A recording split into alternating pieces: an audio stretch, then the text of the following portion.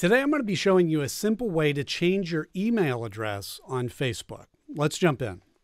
Now I'm going to be showing you how to do this on the mobile app, but this is also a function that can work on your desktop. Some of the settings and placement of where the settings are might just be a little bit different. But we're going to open up our Facebook app on our phone. And then from your home page, we're going to go to the bottom right-hand corner to the menu option. And then we're just going to scroll down here to settings and privacy and click the top one of settings. Now on your desktop, you want to go to your account button and then go to settings and privacy and then settings. And then here you just want to go to your account center and then down under account settings, you'll see personal details. You want to click on that. And then it has all your contact info there. And then where you see account info, you just want to click on that. And then down at the bottom, you see it says add new contact. Click on that. And in our case, we want to add email. Then you'll enter in your new email address. Now, in my case, I have my Facebook and my Instagram account linked together through Meta. So I have the option to select either or both accounts. we're just going to select our Facebook account and then you click next.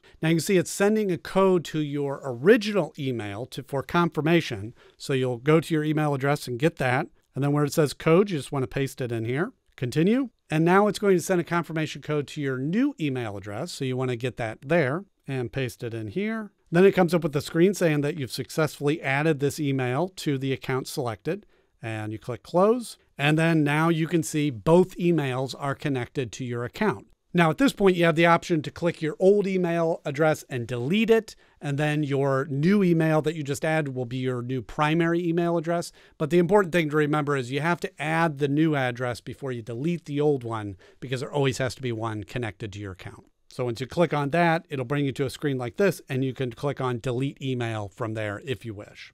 And done. It's that easy to add a new email to your existing Facebook page. Hope you found this helpful, and I'll see you in the next one.